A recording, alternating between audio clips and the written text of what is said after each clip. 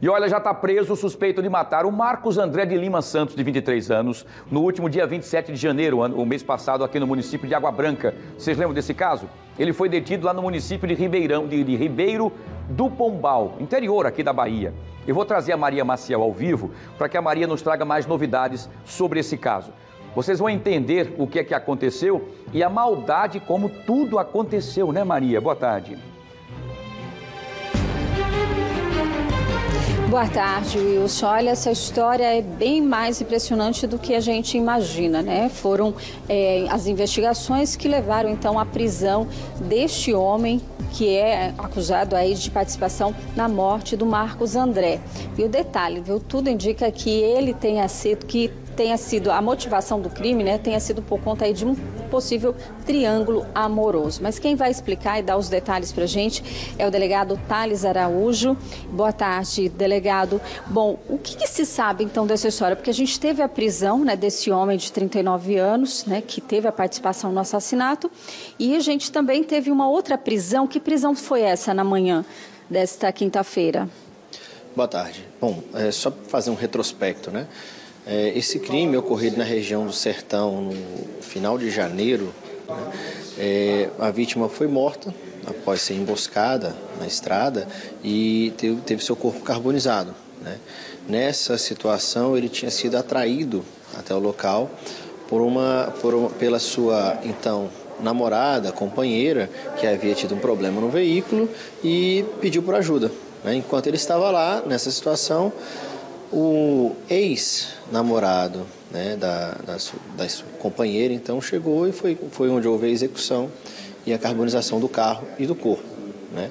As investigações correram aí sob presidência, né, doutor, doutor Rodrigo Cavalcante, e todos os elementos angariados levaram a crer que é, foi, na verdade, um, uma emboscada, um plano que teve a participação da então namorada da vítima e ex-namorado do executor motivo pelo qual, é, após a prisão dele, ontem na cidade de Rio do Pombal, na Bahia, Ribeira do Pombal, perdão, né, ela foi presa hoje e foi presa hoje na cidade de Paulo Afonso, também na Bahia, e estão sendo, estão sendo realizadas diligências de busca e apreensão para tentar obter aí, é, é, aparelhos telefônicos, computadores, enfim, alguma materiais que possam nos fornecer é, a resposta para essa pergunta. Por que né, da participação dela? Mas uma coisa é, é, é fato, a participação dela na morte do então namorado né, é, pela execução com seu ex. Já havia essa, inclusive há informações de que ele ameaçava, dizendo que ia matar o atual namorado dessa mulher? Exatamente, existem elementos, mais elementos né, dessa situação de, de ameaça dele para com o, o, atual namorado dela, né? Nesse triângulo envolvendo aí, é, é, é envolvendo essas pessoas. Então, assim, é, é, segundo relatos dela, né, segundo foi relatado, ela mesma já havia dito para a vítima para se afastar, porque o, o ex-namorado dela era violento, ele poderia cumprir as ameaças. E, e tudo leva a crer aí que existem mensagens, mais mensagens com fotos com armas de fogo e outras situações é, é, é dando essa conotação de que ele poria fim à, à vida do, da vítima. Ela foi presa onde? Ela foi presa em Paulo Afonso, na Bahia. Ela estava com, morando junto com esse ex-namorado? Não, não, até porque depois do crime, né, ele buscou se evadir e, e tentava se esconder da, da, da, ótica da justiça. E ela, por outro lado, acreditava que o envolvimento dela não seria, é, é, não seria detectado, por isso que ela ficou na região. Agora, desde o início, ela já era considerada também uma suspeita? Conta até do, do cenário da, de tudo que foi dito e que era meio estranho também, né? É. é o que se pode né, informar, é, é, quem vai responder isso melhor é, é quem tocou a investigação desde o início, né? Mas o, o, que se pode dizer é que uma ocorrência de um crime desse, todas as hipóteses são avaliadas, todas, né? E vão desde ela ser completamente inocente, a ela ter uma pequena participação ou ter sido até a, a mentora da própria situação. Agora, em relação aos outros participantes, né? Porque segundo relatos dela seriam quatro homens. Nesse caso, o que foi preso ontem seria o, o que atirou no Marcos André, que atirou na vítima? Até onde consta sim. Em relação a, a, aos outros participantes, né, a partir de agora, a partir dessas duas prisões, são levantados novos dados, são feitas novas análises que vão permitir aí a, daqui para frente é, que a polícia tenha o, o desenho completo, o desenho com certeza da dinâmica dos fatos e da participação de cada um, desde o planejamento à execução. Até para saber se realmente eram essas quatro pessoas. Né? Exatamente, né? É, como como eu disse, todas as hipóteses são levadas em consideração. Né? Então, se trabalha aí, pode ter sido quatro pessoas, mais, menos. Inclusive, é, é, faz parte do trabalho a gente focar não só em quem executou, mas também em quem planejou e em quem de alguma forma auxiliou, que são os partícipes. E nesse caso da namorada da vítima, ela vai ser indiciada por qual crime? Ela deve responder. Olha, ela, como ela, ela não teve uma mera participação, né? Ela, no caso, fez parte da execução, então ela é coautora do crime, responderá também pelo homicídio, da mesma forma que os executores. Agora, a gente sabe que foi todo um trabalho de inteligência até para localizar esse homem, né, acusado de matar o Marcos André, né? Como é que vocês chegaram? Ele já estava sendo monitorado, tinham pistas? Essa namorada, né, essa ex dele, deu alguma pista sobre ele ou não? Foi mais a investigação mesmo por conta de dos levantamentos feitos pela polícia?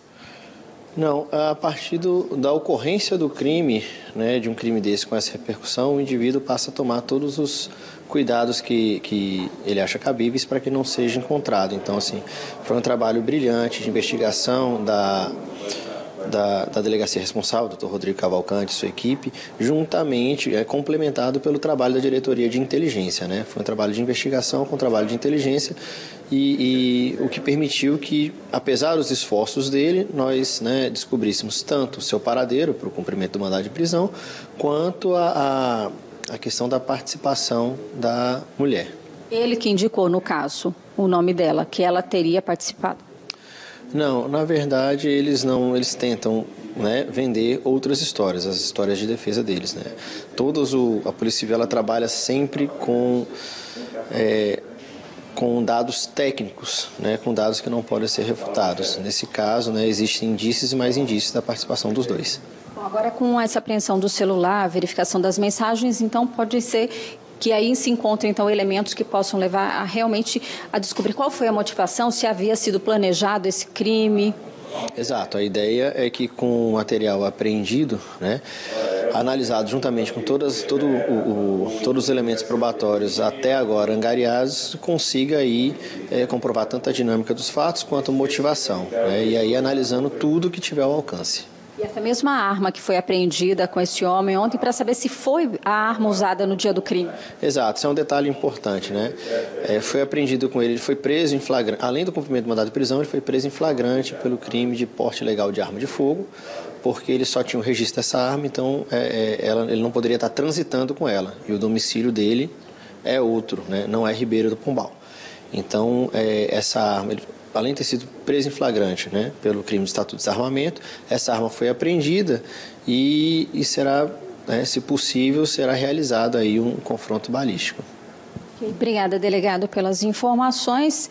É uma história, né, Wilson, que a gente chega aqui para contar teve esse, todo esse trabalho de investigação para chegar à autoria. Também agora a gente teve a prisão desse homem e agora essa novidade, né? Que a namorada da vítima foi presa, ela que teria participado, estava ali, inventou aquela historinha, né? De que homens chegaram, né, atiraram contra eles, que seria um possível furto, enfim. Agora resta, né, agora a polícia descobrir qual teria sido a motivação, porque ela namorava a vítima, né?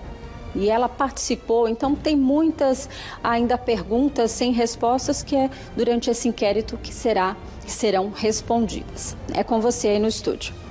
Muito bem, muito bem, Maria, perfeito, excelente. E a gente, olha, desde o início eu sempre achei estranho, porque era muito interessante, uma mulher estava no meio da rodovia, o carro quebrava, quebrou, ela liga para esse namorado, o namorado vai até o local e assim que ele chega e começa a mexer no carro, ah, imediatamente chegam essas pessoas. Como disse o delegado Thales Araújo, logicamente vão ser feitas as investigações, duas pessoas presas, o executor e a, a, a coautora, inclusive, desse, dessa execução do Marcos André. Porém, eles estão falando que tinham quatro pessoas, enfim, mas pode ser que não tenha ninguém, tenham sido somente os dois. E é isso que a polícia vai continuar investigando. Mas é uma história realmente mirabolante, parece coisa de filme, né? Mas é a vida real da criminalidade, infelizmente, da cabeça doentia, infelizmente, dessas pessoas. Obrigado, Maria. Obrigado mais uma vez ao delegado Thales Araújo pelas informações. Vamos continuar acompanhando de perto. A Maria volta daqui a pouquinho. Esse era o Marcos André, ó, 23 anos. Foi vítima desse assassinato. A arma que foi apreendida com esse rapaz que estava preso, que, foi preso na Bahia. Depois aqui é o momento do carro que foi encontrado com o corpo de Marcos André dentro, né, do, carro que seria supostamente da, da namorada de Marcos André. Mas como disse o delegado, me pare, parece que havia um triângulo amoroso. Por que, que ela fez isso com ele? Não sei se ela foi coagida, talvez pelo, pelo ex-companheiro, a chamá-lo para que ele fosse executado.